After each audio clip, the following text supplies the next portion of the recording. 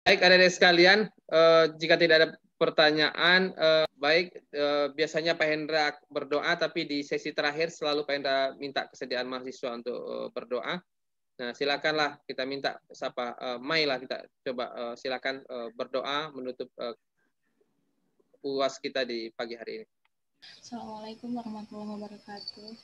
Assalamualaikum warahmatullahi wabarakatuh. Mari kawan-kawan bersama kita mengangkat tangan kita uh, guna berdoa untuk kelancaran uas kita di pagi hari ini. Semoga berjalan dengan lancar dan mendapat uh, nilai sesuai dengan apa yang kita usahakan dan kita inginkan.